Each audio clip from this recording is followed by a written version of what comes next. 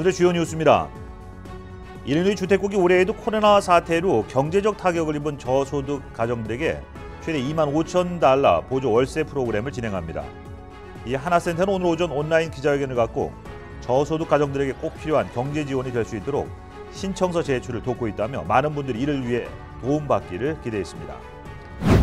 일리노이 교육위원회가 오늘 가을 학기부터 전면 대면 수업을 진행시킬 준비하고 있는 것으로 나타났습니다. 현재 일리노이주의 팬데믹 진행 상황 봤을 때 6월 중순경에는 모든 규제가 풀리는 경제계획 5단계에 도달할 것이라고 판단해 이런 결정을 한 것으로 보입니다. 시카고 한인회장 선거관리위원회는 지난번 선거 공고에서 후보자가 나타나지 않자 제35대 시카고 한인회장 선출을 위한 선거를 시카고 한인회 회칙 제5장에 의거해서 재공고 실시한다고 밝혔습니다. 지난 18일 샌프란시스코에서 오클랜드로 향하는 고속도로를 달리던 파티 버스를 누군가 추격하면서 총격을 가해 최소 2명이 숨지고 5명이 부상당한 것으로 나타났습니다. 경찰은 용의자들이 무려 70발의 총격을 가했다고 전하며 무작위 범죄는 아닌 것으로 보인다고 밝혔습니다. 이상 이 시각 주요 뉴스입니다.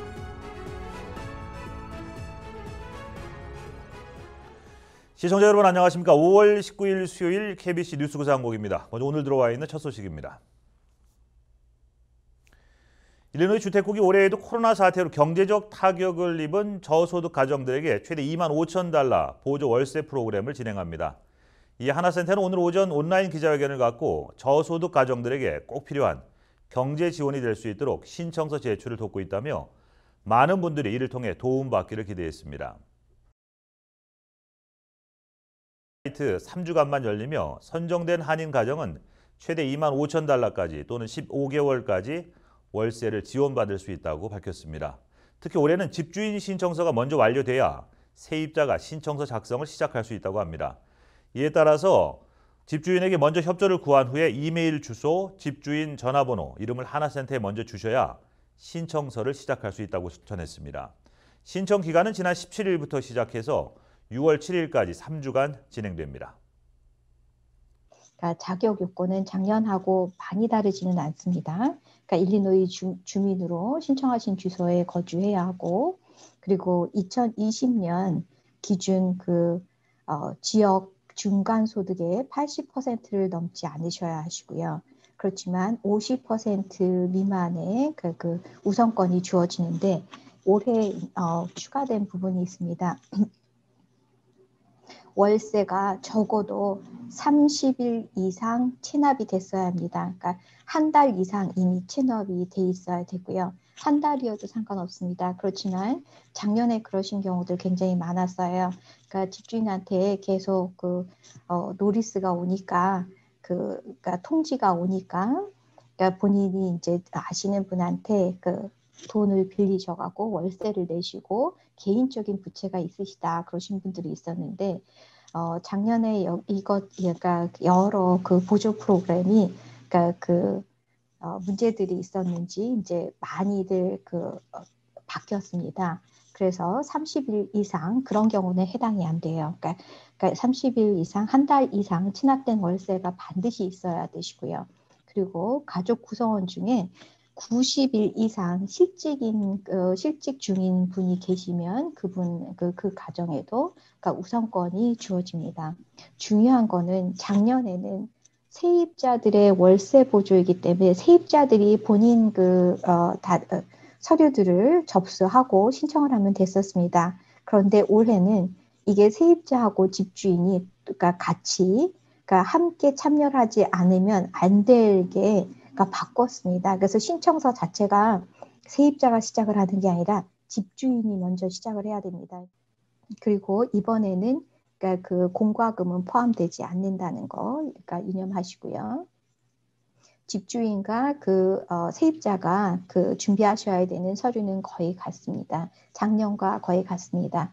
그러니까 단지 강화된 부분은 연체된 월세 관련 증빙 서류가 말씀드린 것처럼 그러니까 30일도 그러니까 그 어, 어, 퇴거 명령서, 60일 퇴거, 퇴거 명령서 이런 식으로 하나 하나 하나 아니면은 그러니까 그 1월에도 밀렸고 2월에도 밀렸고 월별로 이렇게 있으셔야 되시고요.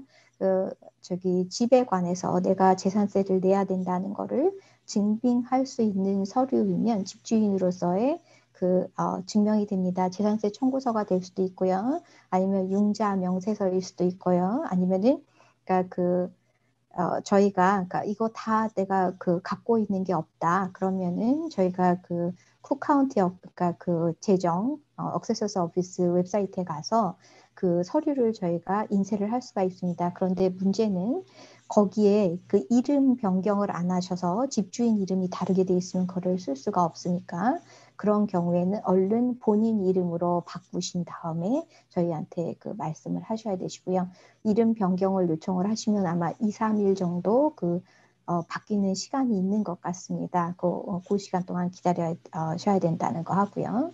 그리고 집주인은 얼마를 2만 5천 불을 다 지원을 받을지라도 그러니까 그 세입자 한 세입자는 세금이나 어떤 다른 아무 영향이 없습니다. 그렇지만 2만 5천 불까지 그 받은 그러니까 그 집주인 같은 경우에는 이미 그게 보조이지만 연방 정부의 보조이지만 그게 월세를 커버하는 거이기 때문에 월세 임대 소득입니다. 그래서 그러니까 세금을 보고를 할 수 있어야 돼요. 집주인 같은 경우는 그래서 집주인이 내셔야 되는 거는 본인의 소셜 사회보장 전화번호 번호일 수도 있고 아니면은 어떤 회사를 설립하셨으면 고용주 납세 번호도 어, 될수 있고 만약에 집주인이 어, 그러니까 법적인 이민 신분이 없으신 분이면 아마도 개인 납세자 번호를 갖고 있으실 거예요. 그러니까 글로 세금을 보고를 할 수 있다는 거를 보여줄 수 있는 번호가 꼭 필요합니다. 나중에 그거를 쓰셔야 되시거든요.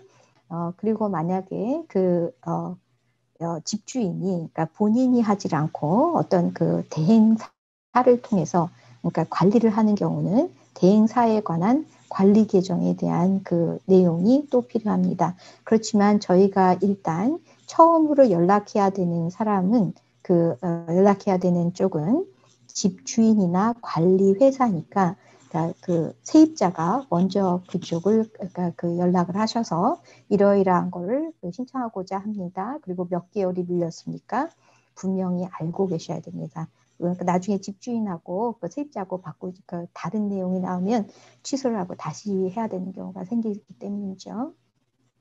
세입자가 준비하셔야 되는 서류, 그러니까 그 신분증, 그리고 그러니까 얼마 그러니까 그 납세가 안 됐다는 거, 그리고 가족 구성원의 전체 소득, 소득이 그러니까 지역 중간 소득에 따라 있기 때문에 50% 미만인지 80% 미만인지 그거를 증명할 수 있어야 되기 때문에 소득 관련 어, 소득 어, 관련 증명 서류가 중요하고요. 이제 만약에 공공복지 지원을 받는 경우에 그 관련 서류를 주셔야 돼 있고요. 가장 중요한 거는 저희한테 그러니까 그 도움이 필요합니다. 그리고 주실 때도 이게 이미 주택국에서 그 주주택국에서 이메일로 연락을 한 걸 저희한테 전달을 해주시면 저희가 그거를 열고 손님하고 전화나 아니면은 화상으로 아니면은 그 개인적으로 만나서 이렇게 도와드리는 거이기 때문에 이메일 주소가 본인이 아까 그 쓰실 수 있는 거가 없으시면 절대로 안 되시고요. 그리고 또 하나는 어 그러니까 그 어, 집 주인이 그러니까 여러 채를 갖고 있는 경우가 있으세요. 그런데 여기도 밀렸고 저기도 밀렸고 이런 경우는 어, 그 권해주기를 같은 이메일 하나로, 그러니까 그 만약에 본인이 갖고 있는 집이, 그러니까 세입자가 네 가정이다. 그럼 네 가정을 같은 이메일 주소를 쓰지 말라고 권하고 있습니다.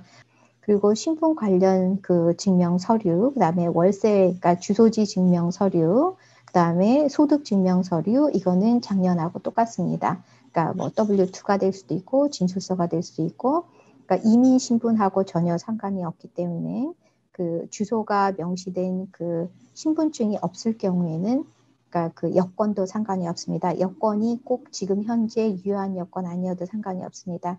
그 여권은 그 본인의 이름하고 그러니까 그 본인 자체를 증명을 하는 거기 때문에 그 여권을 만약에 쓰셨을 경우에는 그 소득 아니 음, 집 주소를 증명할 수 있는 그러니까 어, 주소지 증명 어, 관련 그 공과금 어, 고지서가 필요합니다.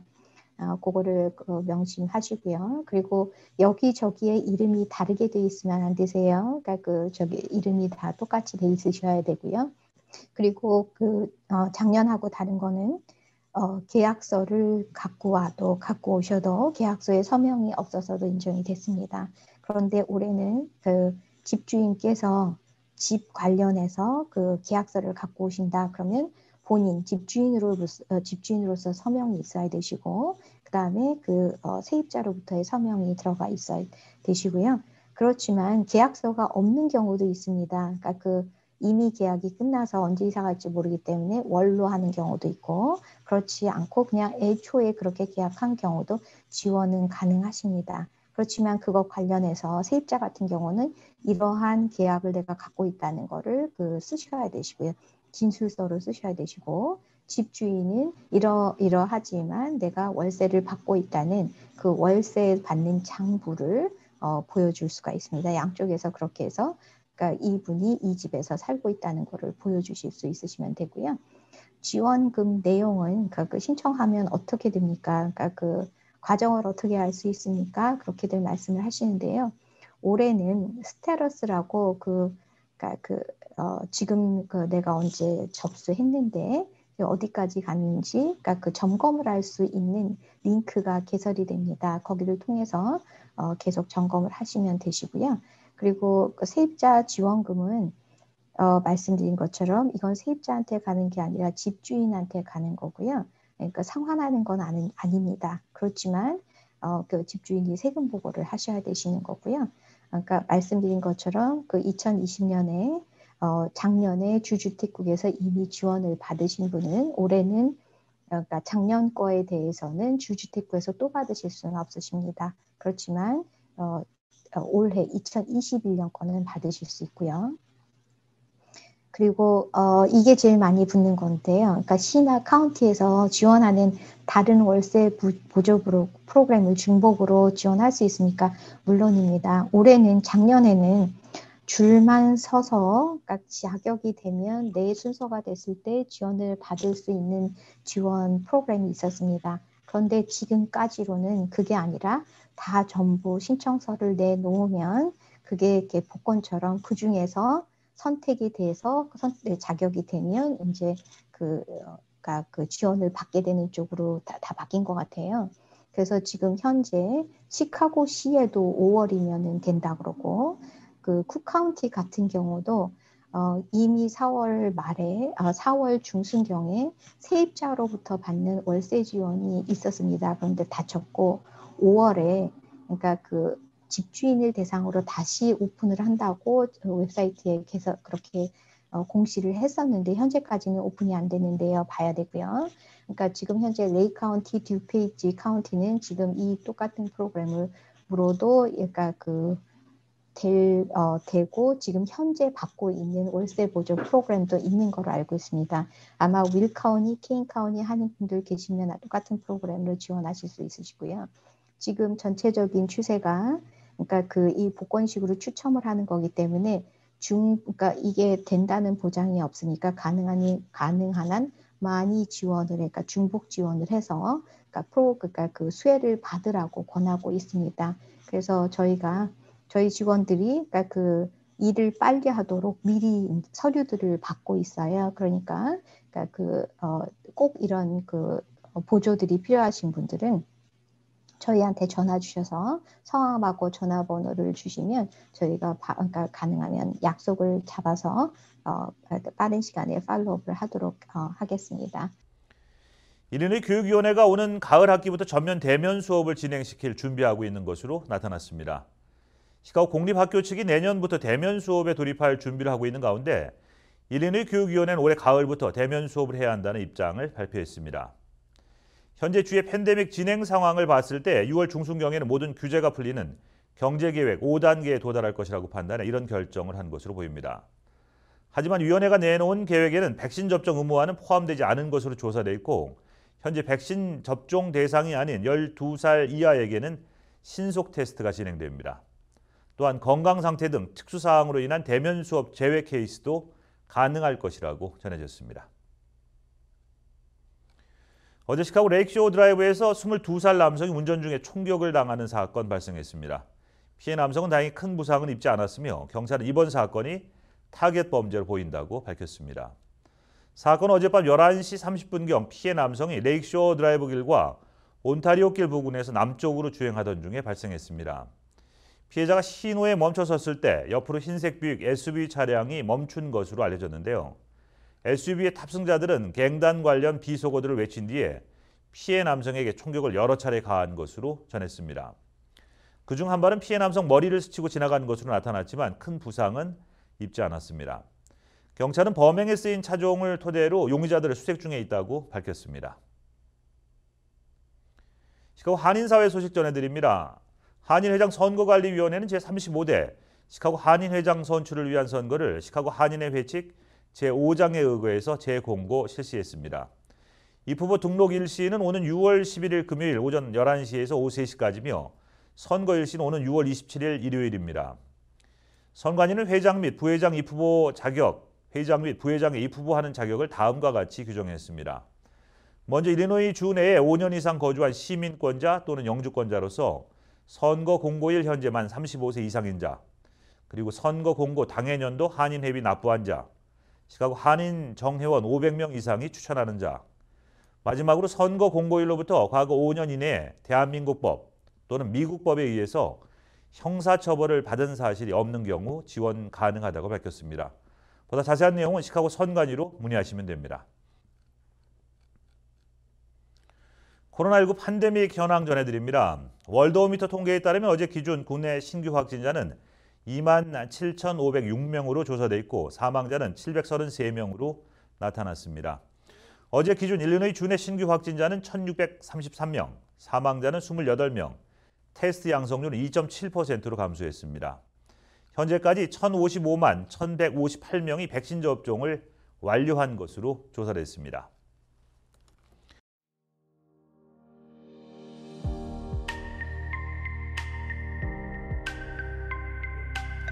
5월 19일 수요일 중부 시간 오후 기준입니다.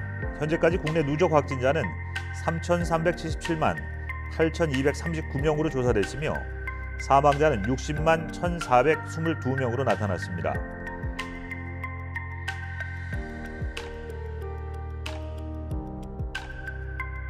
일리노이주 누적 확진자는 137만 342명, 사망자는 2만 2,494명으로 집계됐습니다.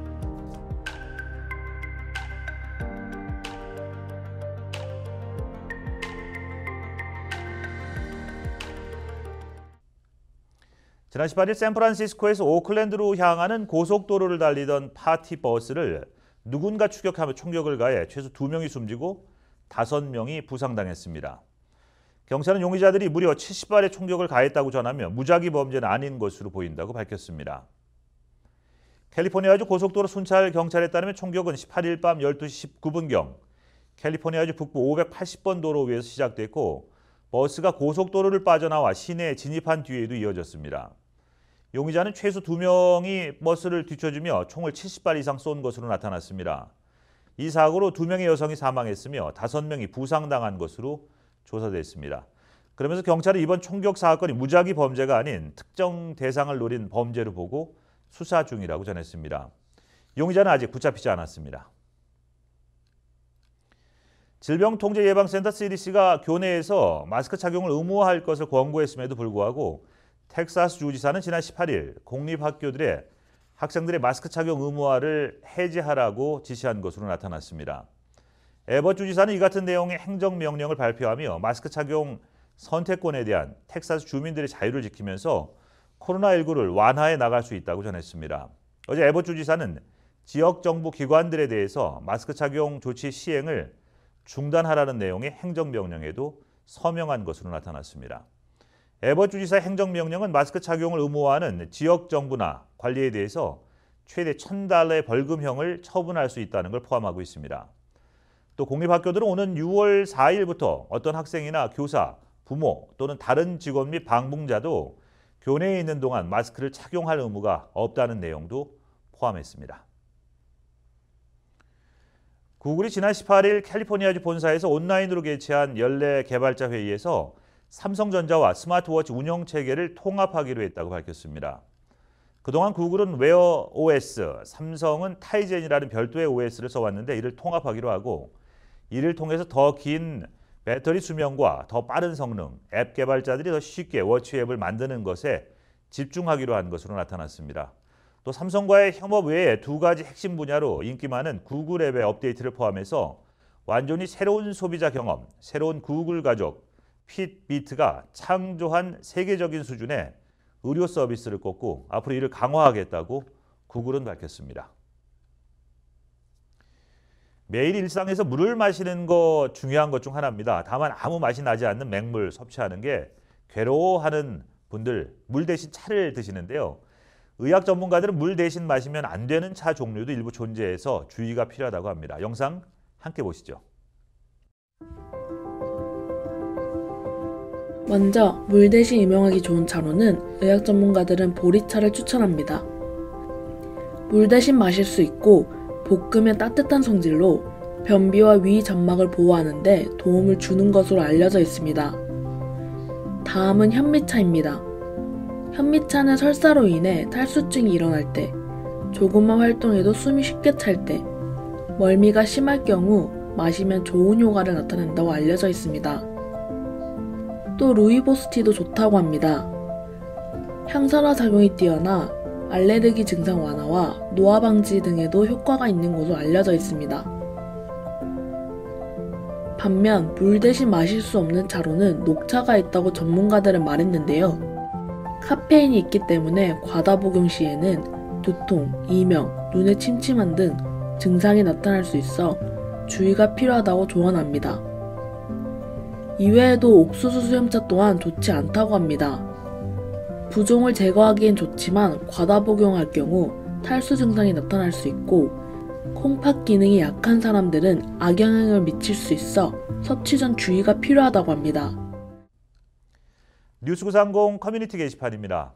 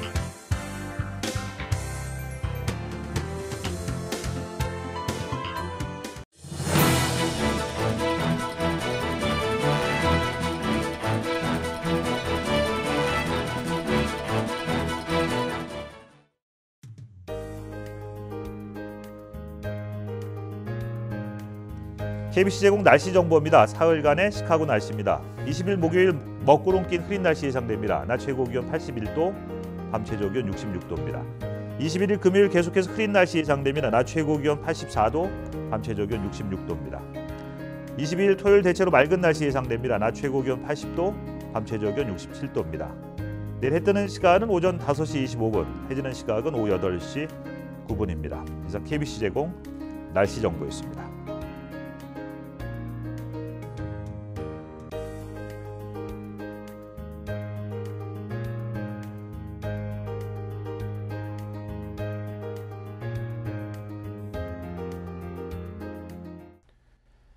이상으로 오늘 보내드린 뉴스 구상공 모두 마치겠습니다. 시청해주신 여러분 고맙습니다.